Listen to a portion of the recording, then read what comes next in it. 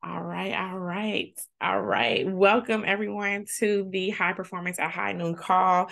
Thank you for joining me at this new location. Um, I was just saying that I had to move everything from my other organization onto this organization. Um, so you know, under my Jice Johnson Consulting brand, and um, and so yeah, so I had to move some stuff over. So thank you for joining me over here, and um, we're still gonna rock and roll. We'll see who joins um, with the new link, um, but we'll we'll keep it moving.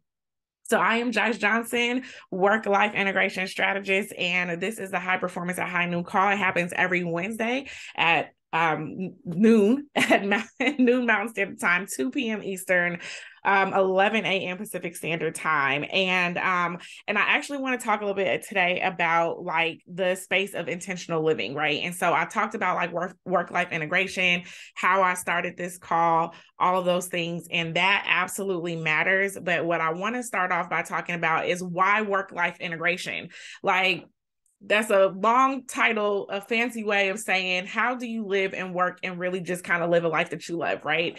And so, how did I get into this space? Well, it really started with the concept of intentional living. And that concept of intentional living is a values based lifestyle that helps you get clear about how you want to live so that you have the freedom and the agency to live on purpose. So oftentimes we have people who have a like you have a thing that you want to do but your everyday life doesn't really allow for that. So um you know when I talk about the word agency like how many of you know what agency means in this context but when I when you know in a social context right like you having the ability to control what it is that you do. And so often we don't feel like we have the ability to control what it is that we do and so then we are caught up in our day to day life and we have this vision, we have this dream, but we don't get to do that and live intentionally. Well, the way that I started learning about living intentionally was through integrating what I do with my work and how I want to live my life and where those things met and like creating that synergy in that space. So I wanted to kind of break that down a little bit more, and I'll probably start to break that down um, a little bit more consistently as a part of the call because I think it matters as people are trying to figure out like how and where do they fit inside of this space, right? And like why do I even care about work life integration? Well, work life integration is really, really, really only about how you live a life that you actually want to live, not like some far off thought about what would be nice, what everybody else calls successful what do I feel like? How do I want to live? And then how do I make money while I do that, live on purpose while I do that, create impact while I do that?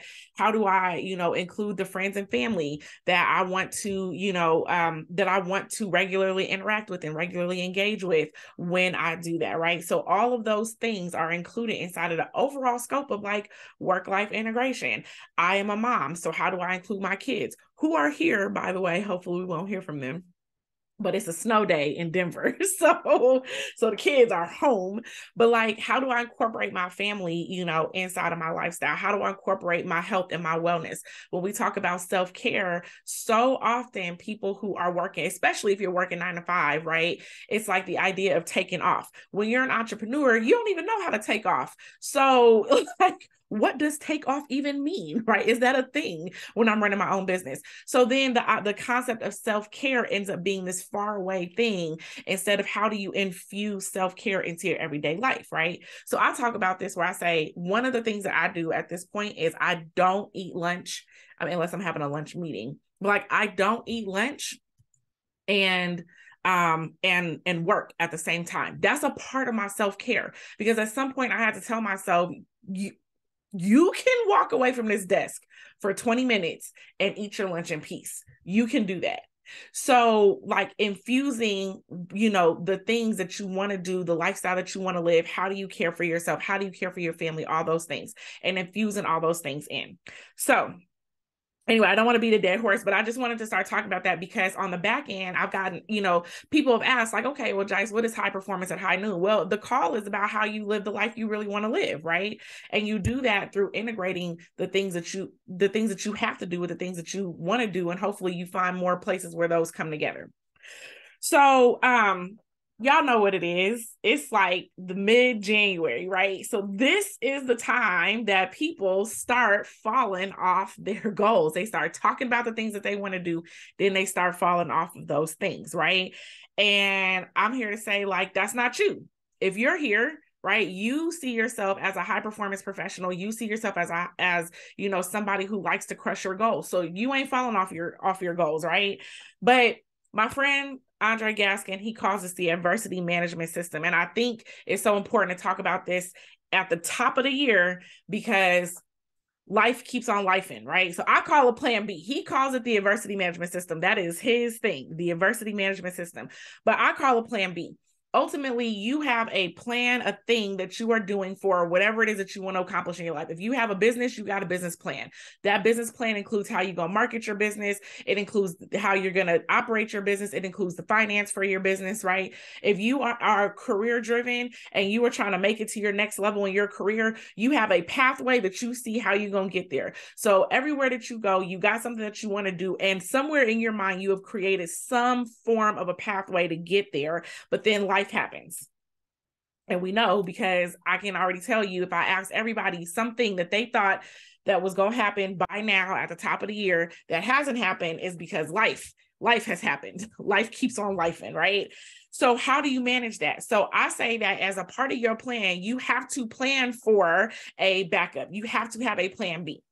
And the way that I've looked at this for myself as I've thought through like how this has actually helped me is the same way that you create a system for every goal you want to meet, you have to create a system to help catch you when you aren't able to, to hit that target. Because what happens, like how many of us, and you can put like put a one in the chat if you if you're able to, you know, how many of us have ever like started a goal and the first time we don't hit our goal, we don't hit our target, we never come back to it. Like I'm about to go to the gym every day then you miss the gym one day and you never go back. You never go back. Like it'll be the whole next year. We'd be like, dang, I had got that membership. I was supposed to be going. I never went. And like the gym is easy, but like how many of us have started a diet? Right? I'm gonna start this diet plan. You start the diet, you miss one day on a diet, you mess up one time, you'll never come back. So how do you not just plan for like where you're going, right? But like also how do you plan for when you when you fuck up cuz you you're going to. Right? It, at some point you're going to not hit that target. And if you don't have a plan for when you don't hit that target, you will be the one that starts and then don't ever come back. So how do you stop yourself from being that? And I say you got a plan with a plan B. I got plan A and I got plan B. It's like where do I what is the lowest thing that I can do just to maintain a habit? And why to make why maintaining a habit is so wildly important. And I mean wildly important. Maintaining a habit is wildly important in order for you to reach your goals. Cuz like let's really talk about what a habit is, right? Like habits are simply just tied to outcomes. So if you have a good outcome or you have a bad outcome, and I'm to use the word good and bad bad just to make a contrast, right? Because some ain't, I mean, some ain't really good or bad. Like they're just things that we do. But if you have a good outcome or a bad outcome, no matter what, you're going to be able to tie it to a habit that you are doing. So when you're seeing like success in your business or you're seeing upward trajectory in your career, you have developed a habit that allows for that thing to happen. It's not luck, it's a habit. Somewhere under there, there's a habit that's let you get to that space. Then, if you have something that is not good, right? If you have something that is not where you want it to be, it's going to be tied to a habit, a thing that you are consistently doing that is taking you down this road that you don't want to be down. So habits are simply tied to outcomes. And what you want is you want to create the habits that that that ultimately create the more consistent outcomes that you want. Well, why do you care about the outcomes? Cuz outcomes are directly tied to lifestyle what life am I living? Whatever I do every day is my life. It's not some imaginary thing. Whatever I do every day is my life. And if I don't enjoy all of my life, if I feel unfulfilled, if I don't feel like I'm getting where I want to get in life, I can tie that to the things that I'm doing and I can tie that those out. I mean, I can tie that to my outcomes and I can tie my outcomes to my habits. So it comes down to whatever whatever you're doing every day is whatever you're doing every day. That's like literally at its most simplest form. However, your life is, whatever you do every day is tied to whatever you do every day. So, how do you begin to change those things? And when you've made a decision that you want to change those things, you're going to change your habits. But in order for you to change your habits, right, which is going to lead to different outcomes, which is going to lead to a different lifestyle, in order to get there, one day life is going to happen. And how do you go back to making sure that that's not that that's not you, right? Because this this group right here, that's not you. So let me know if this is resonating with you, right? So here's what here's what here's what we're going to talk about. Plan B. First of all, most of us start too big and too fast, right? And we've all done this. Oh, I'm about to go. You ain't never fasted a day in your life, and now you're about to do a seven day fast your body is looking at you like you crazy. Seven days, you ain't fasted for three hours. You constantly snacking, and now you want to do a, a, a seven day. It, it it's too much. It's too soon. It ain't gonna happen. Your body gonna be thinking that you're crazy, right? And you can literally apply this to anywhere. You ain't been to the gym in three years, but now you about to go to the gym seven days a week. You about to be in there for two hours a day. You about to crush it and in 17 days, your body is going to be turned around. Knock it off. Seriously, knock it off. It's never going to happen. So, when you set yourself up for this high expectation of something that just isn't going to happen, you're going to fall off one day. One day you went to the gym for two hours and it felt really good. But actually, the next day when you woke up, your body was so sore from working out two hours in the gym, you never go back you never go back. How do you prevent yourself from doing that? Right. Like that's really important. And it matters that we think about how we actually set up too big and too fast goals because when we don't see them, we end up living the same life, same shit, different day. Y'all heard that term, same shit, SSDD, right? Same thing, same stuff. Excuse me. I'm working on that. I'm not really working on that in my life, y'all. I'm not, it's not even a goal. It's not even a thought. I just, I cuss. I'm sorry. Same thing, different day right? We have lived that life. And then how many, I, a few years back, like 2000, I want to say it's like 2017, 2018, I ran a game called the game of real life. right? It was a game directly tied to outcomes, but it was a talkback, right? So the first thing that I did after after playing this game, um, if any y'all remember that board game, the first thing I did after playing this game was I asked people, how many of you have looked back over the course of 10 years and realized that you really actually haven't made it that far? You ain't even guys, I was gonna say drop a one in the chat if that's you, but don't even drop a one in the chat that maybe that hurts how many of you have looked back and really, really thought that, like, in 10 years, in five years, five years is a long, in five years, you really actually haven't made significant progress on where you are? Like maybe you got a different job, maybe you have a different partner, maybe you have a different title, but like your money ain't the same. You was thinking about investing five years ago and you still ain't invested in nothing today. You was thinking about the vacation that you want to take and you still ain't took that vacation today. You was thinking about the business you wanted to start and like maybe you kind of put it out there but like you don't have no real revenue coming from that business. You ain't started that business today. Like, how often have you sat in the space and looked at how many years it's been and ain't nothing really changed? Not for real. Like, when do you get serious? Right? So part of that is because we don't plan for the fall off, but the fall off always happens. It always happens. So how do we not plan for the fall off? How have we over year after year after year after year not actually planned for the real life stuff that's going to happen? Right? So let's talk about it. A plan B. And I'm going to just give you some of mine and I want to encourage you to think through some of yours because y'all know I like to give our homework, but let me just give you the homework up front. The homework is going to be to start making some plan Bs. That's the homework, right? So I can let me tell y'all some of my plan Bs. First, I got a meal prep. I think I told y'all this, but if I haven't, I'm because some of these are like my everyday life, right? This is my everyday life. So, first of all, I enjoy good food. I don't like to cook every day. I like to host. So, in case any y'all's in Denver, I actually like to host and make fun little treats I like to do that. But I don't like to cook dinner every day. I'm not lying. Like I'm not one of them moms who like to get in and like cook every day. So what do I do? I my, one of my things is my kids need to eat whole healthy meals, right? My kids need to eat at home pretty consistently at the same time. I need to not spend um, money eating out all day every day. So When I put all that together, that means I need to meal prep. Okay, so I meal prep by cooking on one day. I cook on Mondays. Every Monday, I try to cook three meals all at once. So I have leftovers for the whole week. I'm good with leftovers. Some people don't like leftovers. I'm good with leftovers. So I try to cook three meals one day every week. What is my plan B? My plan B is I always start with my largest meal. Why do I start with my largest meal? because just in case I don't make it through all three, just in case I left an ingredient at the store, just in case I end up being tired, just in case I have a meeting on Monday night and I am not able to cook all three meals, I start with the largest one to give myself extra time. So I start with the largest meal. And on any occasion that I'm not able to cook all three of my meals, I immediately go and adjust my calendar to find another block of time that I can finish cooking. Because if I don't, we'll eat out every night of the week. It, I'm not like I'm, it's not gonna happen. I'm not gonna be able to cook Tuesday night and Wednesday night and Thursday. It's not gonna happen. I already know it's not gonna happen. My life isn't set up that way, nor do I want it to be set up that way. So, my plan B is I always start with my largest meal. So, in case anything happens, I know I at least have Monday and Tuesday in the bag and I can figure out how to make it up. Clothes. Okay. I don't like to pick out clothes every day. And I have little people. I don't like them picking out clothes every day. I don't know if y'all ever had little people trying to pick out clothes. That is a nightmare. So I like to have all my clothes ironed for the week. I like them ironed. I like them in cubbies. My kids have little cubbies that sit inside their closets. This is how I stay organized. Five days a week, they got five clothes already sitting in there underwear, socks, t shirts, shirt, pants.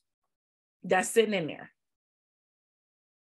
I have a little person who came down here. They knew I was talking about them. How can I help you, little person? I'm live on camera right now. So lady ate some trash and now he threw it on your carpet. Oh my goodness. Okay, well, I'll finish that after my call. So did I put her in a kennel? Okay, that's thank you so much. That was an amazing. Thank you. I can I finish my Can I finish my call now? Life, life, lives, y'all. my dog is thrown up on the carpet in case anyone wants to know what I'm going to do after this call. so what do I do? In case I do not get to pull out all of my clothes, all of the clothes for the week, I put all the clothes on the ironing board because I like to have everything needs to be ironed, ready to go, is done, right? That is that is the easiest thing because I know that when I get up for me to have a smooth morning, all the clothes need to be done. This is how I live my life. But if something happens, what happens if I'm out of town? I, I travel frequently. What happens if I don't come back until Sunday night? So now I don't have time to put together all the clothes and actually get them ironed. So my bare minimum is I need all the clothes pulled out and they just need to be placed on the ironing board. In a perfect world, my ironing board will be put up on Sunday night.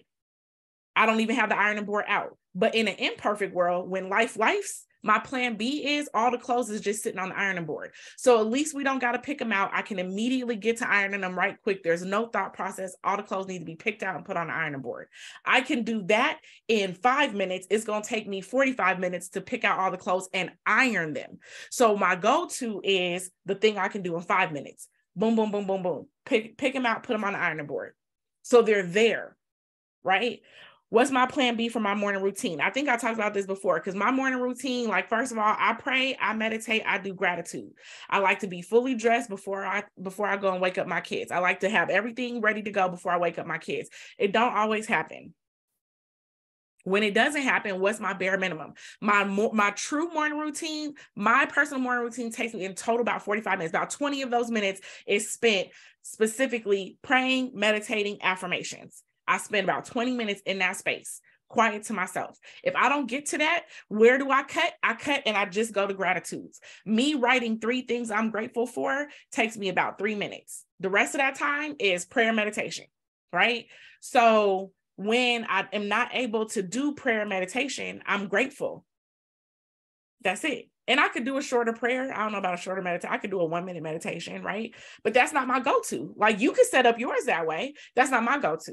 My go to is if I have run out of time, if I'm not able to handle my morning routine the way that is most effective for me, my go to, my plan B to keep the habit is my three gratitudes. Because again, if you break the habit, if you break the habit, to be honest, if you break the habit more than three times, you out of there. Like, let's just say, using the gym as an example, if you go to the gym every day and you don't go to the gym one time, cool. You make it up the next day, good. You don't go to the gym two days in a row, you're going to really be in trouble because by the time you don't go to the gym 3 days in a row, your habit is is fractured.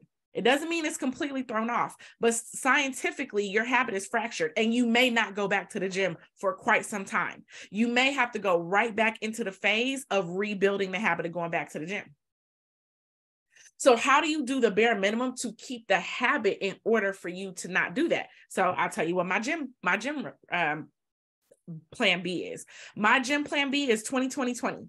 20 push-ups, 20 sit-ups, 20 squats. I only got to do it once. I didn't even got to do three sets. If I'm traveling, if it's late, if I just didn't make it right um, on Monday, I like to go to the gym. I go to the gym five days a week, Monday through Friday. Uh, but I, no, maybe I talked about that in my class, in my other class. Um, Friday, one Friday is hard for me because, and this is gets into the science of a habit, which I'm not getting into today. But the in the science of a habit, you have to have a tr- a, a cue.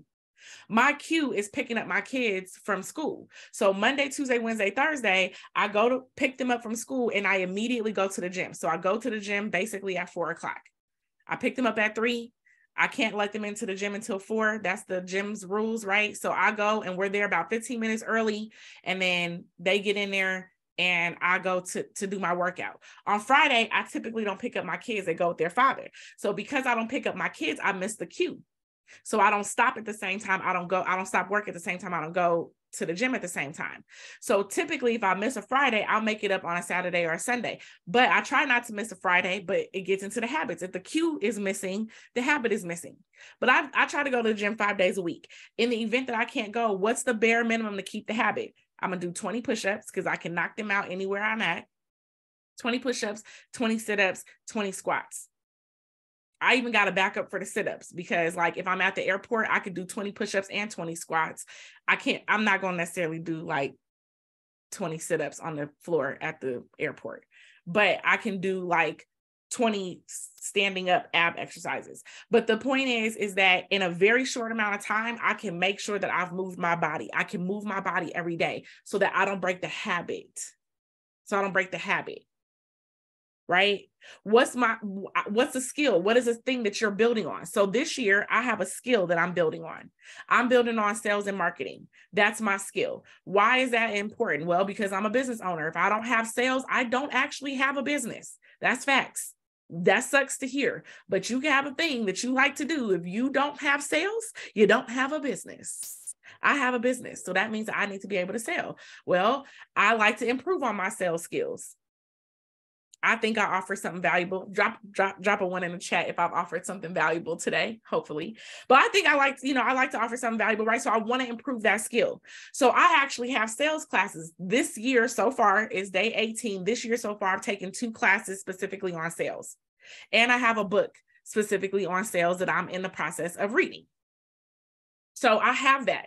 But what is my go-to? I save articles because worst case scenario if i can't get to a, a, class if my schedule is so tight i can't read the book right? I can read an article.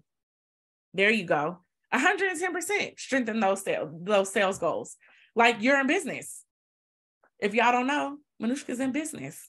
She sells chubby curls. I ain't gonna try and say your slogan what is it? Make make it chubby. Wait, make it skinny curls chubby. I might I probably butchered that. Don't pay attention to me. I'll drop it in the chat. but like you have a business, right? So you got and you whatever your skill set is, increase your skill set wherever you want to increase it. But building a skill set, especially when you work full time or you do business full time, that's not the easiest thing to do. So, how do you keep the habit of continuing to improve on your skill set, right? If you haven't built that into a part of your lifestyle. So, I literally have articles that I just save that I can go and easily pull up so that if I start noticing, dang, it's been a minute and I haven't actually like spent time studying this thing, like I said, I can pull up an article. I can read an article in three or four minutes. It's going to increase my knowledge on whatever skill set it is that I'm building. So that's my lowest there you go. Educate the natural community one scalp at a time in case y'all want to know who Manushka is and what she does. All right. So those are some of my plan Bs. I'm just dropping out my plan Bs, right? Because this comes back to I had, you know, if you were here last year, I had started off by saying, okay, bet. Why did I start this call? I start this call because a lot of times people say, Jice, how do you do all the things that you do? And I say grace and work life integration, right? I give myself a lot of grace. I mess up all the time. I don't like to beat myself up at this point. Like I've moved out of the space of beating myself up when I have messed up, but I also don't like to stay in a place of messing up. So I have wanted to see progress in my life. I've wanted to have a lifestyle that I want to have. I want to live the way I want to live. I want to do so unapologetically. So how do I do that? With a lot of grace and with work life integration. And how do we get tactical about work life integration? Life keeps on life lifing. That's so I'm gonna just drive that point home. Life is gonna keep lifing. Something's going to happen. The schedule's going to change. It doesn't matter how many boundaries you try to set, how strict you try to be, something's going to happen. I was mentioning Monday for a reason. On Monday, I'm getting ready to go to the gym. On Monday, while we get ready to walk out, because it was MLK Day, right? So my kids didn't have school. So we're getting ready to walk out the door. And what does my son do? My, how old is my son? My five year old son, he's five. My five year old son who knows better than this in his life, okay? What did he do? He peed on himself. Literally, we're walking out the door and he is holding himself and it is coming down his leg. And I am like, go back and change. And by the time he came back and changed, I had just given up. I gave up. I'm not going. One, the gym time didn't pass. I can't get them into the kids' care. I'm going to be charged for them not coming. All the things. I was frustrated, right? So I said, okay, so what do you do Oh, wait, you know what to go do. I said, don't even worry about it. He changed, and I went into my living room and I knocked out 20 push ups, 20 sit ups, 20 squats, and I called it a day. Because now I'm frustrated. I have to reset my state. My day ain't went the way that I wanted it to go. My son didn't pee on himself, which I'm not like, you know, I, that's already irritating. I've been charged money at the gym because I didn't bring them to the kids' care on time. And I'm frustrated, but I'm not to break my habit because I got a lifestyle that I live, and that style is going, that lifestyle is to stay intact. So I'm done talking, y'all. What's your plan B? Like, what's your plan B? The topic you came in late. What's up, Matthew? You came in late. So today's topic is plan B. That's what today's topic is. Today's topic is life keeps on lifing. And what do you do when life keeps on life lifing? And if you have not planned for life to life, you will absolutely fall off your habits, fall off your outcomes, fall off the lifestyle that you want to live. And you're going to live the same life that you've been living over and over and over again on repeat for the last decade. was that a good recap y'all? All right.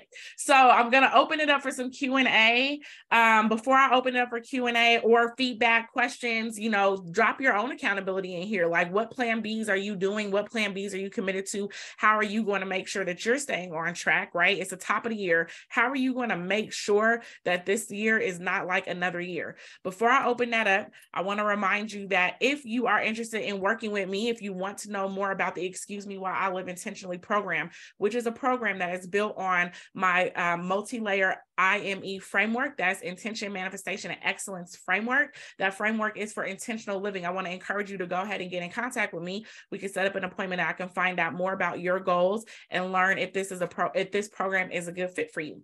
So feel free to reach out and get in contact with me. Um, I have a few more slots left open for January, um, and I'll tell you more about that program if you think that is something that you want to learn about. So um, thank you. Thank you. Go ahead. I appreciate that. All right, so I'm gonna open it up. Now the link is in the chat. thank you because y'all looking out.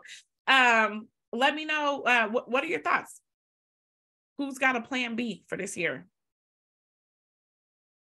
Who's got questions? What questions do you have?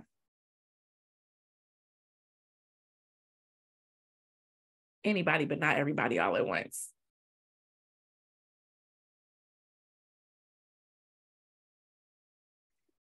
Let me see. I'm starting to dedicate two hour. Hold on, let me open up that chat all the way. I'm starting to dedicate two hours, two days every week to sales calls. Okay. Awesome. What's your plan B? Drop that in the chat when you get a chance and I'll and I'll read that out. Who else? Right. Um she said, um, okay. So right. So what's the plan B? right? What's the plan B? Should you not make your two hours two days every week? What is the bare minimum that you can do that you know can be effective to continue to move forward your sales process? That's your homework. So think on that and figure that out and like be intentional about figuring out what's the plan B. Who else? I know all y'all ain't got no plan B, so y'all might as well just come on and start talking about it. What you need to what what do you need in a plan B?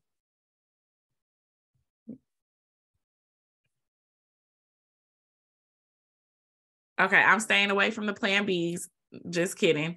Honestly, I haven't made one. I just add other plan A's, and that's been my problem. Okay, so let's not look at it as a problem, right? Let's just talk about what it, what it is that you need to do at in a plan B setting, right? So when something isn't when something hasn't gone the way that you want it to go. And so, Matthew, you already said that you came in late. So, I won't do like a full recap. You could always um, get in touch with me, or you can go back and listen to the replay. But um, what I will say is that it's not necessarily just to make plan A's. That is that actually is actually let me let me back that up. That actually is a problem. And let me just kind of tell you why, right?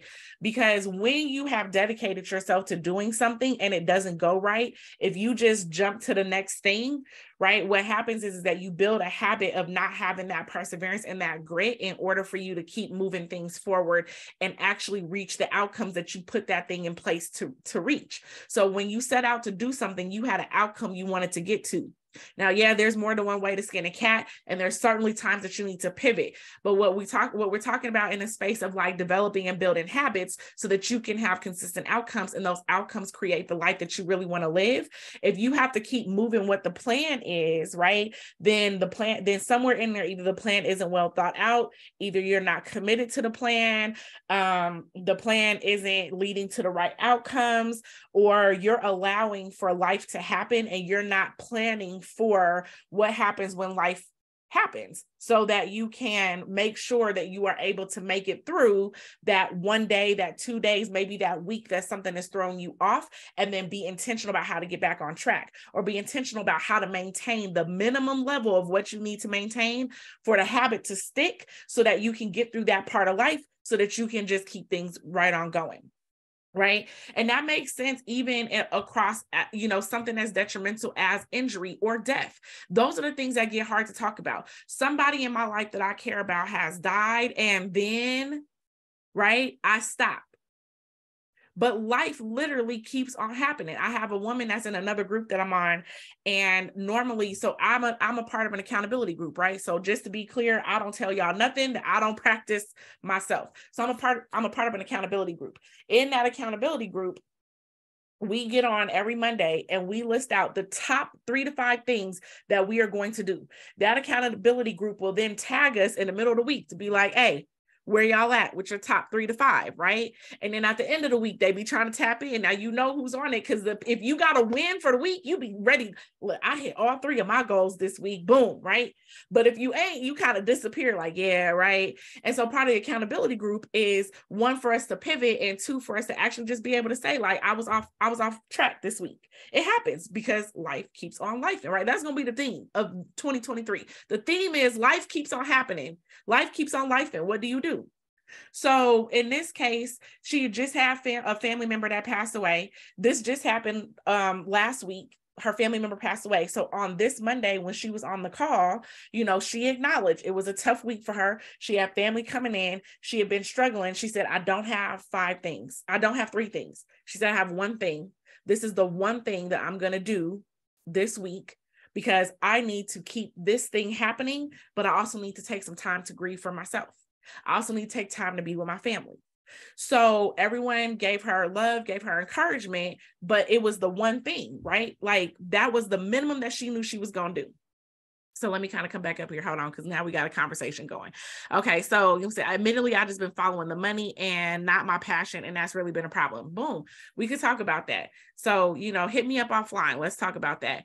Jay says, I'm making a list of goals for each month. I'm still visioning for the year. Awesome. So, as you're figuring that out, right, and you're thinking about what those outcomes are that you want to have, right? What are the underlying habits that you need to have to do that?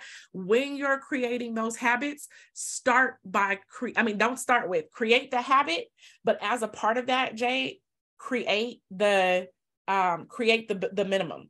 What's the minimum thing that you need to be able to do in order to make this thing keep going forward, right? So make sure that you're a part of that. So Chris says, because I am reading The Power of Now, I tend to not think about what shoulda, coulda, woulda, and just address it then and there and regroup. So I never really, wait, hold on. So I never really thought about plan B, but we'll do the homework to come up with that. We'll come up with developing healthy habits of course. So in the now so um in the now that's really important because as a part of the plan b it's not necessarily what you would have could have should have it is addressing the now right? Like my my goal to reach this outcome is this. I, in this moment in the now i can't do that. So what how do i make sure that i don't drop it totally? And that's why i started off by talking we've all been there where we said i'm about to do this and we did it once we never started. Maybe we did it for a week, maybe we did it for a month, and then we fall off, right? So, how do we stop the fall off? That's the whole point of the plan B is to stop from the fall off. Because to be honest, only 8% of people actually really hit their targets and goals. That's a whopping 92% of people really don't actually hit their goals. I don't want that to be y'all. This is a high performance call. You're a high performance professional. You're a high performance executive. You're a high performance entrepreneur. How do you beat the system? How do you beat the 92% of people that can't that can't manifest their goals in real life? How do you beat that? So this is one of those tools is what is your lowest default right and i think i had mentioned before um it is it's one of my favorite quotes and now it's it's, it's um, escaping me but james clear he talks about you do not rise to the level of your goals you fall to the level of your systems so your habits are your systems because your habits are the things that you really don't think about that much. So how do you create the lowest level of your habits to still create the outcomes that you want? Kevin says, My goal for the past few weeks was to get 20 businesses signed up to shopbypoc.com, but I kept coming up short of that goal. So now my goal is to schedule 10 meetings where I can help small business owners go through the sign up form. I love that. So now what's the lowest amount, right? Is 10 the lowest amount? Is 10 the lowest thing that you can do? Right? So how do you like how do you create that? But I love that, right? So you went from 20 businesses to sign up to how can I be more intentional about getting these 10 businesses on? So you brought your increment down to something that you can actually schedule and go through and then make sure that you're hitting that target. And you want to know what? As people get on and they start finding, you know, more opportunities, that's going to spread and you're going to be able to do more. And that's where not starting too fast too soon, how do we start building up incrementally so that we can, you know, get to where we're going. And look, now you got someone new joining Shop by POC. There we go. Okay. All right. So let me see. Let me come back. Um. Oh, awesome. My goal was to make 5K this month. I've only gotten 3K. But I don't understand. First of all, you're more than halfway there and you still have half the month, right? So it sounds like you're on track for your goals, or am I confused? Maybe I'm confused, but it sounds like you've gotten what is that 60% of your goal and you have two weeks left in the month. So I think that you could hit and crush your goal actually. But what would be a thing maybe in that space is what is the minimum amount that you need to make in order for you to live and care for your business expenses? Right? So you have your personal expenses, you have your business expenses. What's the minimum amount that you need to make? And that's what you default to. So you have like, this is what I want to be make to be crushing it, but I can't make no less than this. Otherwise, I'm not living. Right. And what you need to make to live probably should include the lifestyle that you want to live. My minimum includes my lifestyle. My minimum is not, I'll tell you that. My minimum is not here's what my minimum is not. My minimum is not the bare minimum of what I need to pay my bills. My minimum is what I need to make to live my lifestyle. That's my target every month. I got to make this to actually live how I want to live. Okay. Cause I like to get my nails done. I like to get my hair done. I like to have Pappadeaux like probably two to three times a month. Um, like my lifestyle needs my minimum needs to include my lifestyle Okay, so now you have a target to to reach. So Matthew said, my business comes in. Um, I only have two jobs for the rest of the month, but they're small. So the way my business comes, in. okay. So all that means, Matthew, is that you've got how many more days in this month? I can't do the math. Somebody tell me how many more days we got left in this month. But we have roughly two weeks, right? Something like that left in this month for you to get more than two jobs. So you have, so you got them two jobs. Them two jobs is already on the books. You got two weeks to go get Thank you. Y'all don't tell nobody I can't do math. We got 13, you got 13 days left to go figure out how to get more than those two jobs. Right? So don't count yourself out. Don't count yourself out. You have 13 days to figure out how to go and get more than them two jobs. So, all right, y'all. Thank y'all for participating with me. Um, remember, this call happens every Wednesday at noon Mountain Standard Time, 2 p.m. Eastern, 11 a.m. Pacific Standard Time. Um, please join me again. If this was helpful, please go ahead and share it out, right? Share it out. I know you can't be the only um, high professional, high performance professional in your circle. So please go ahead and share this out. Again, uh, remember, if you want to get in contact with me, if you want to learn more about my Excuse Me While I Live Intentionally program, this is a work life integration program that really helps you think about how you get intentional about how you want to live and doing more of what you love, I can help you get there. Very excited to do that. Um, I appreciate y'all and I will see y'all next Wednesday. All right. Catch the replay. I'll drop those links. I've been saying that and I've been failing to do that. So consider today's email coming out to drop those links. All right, y'all.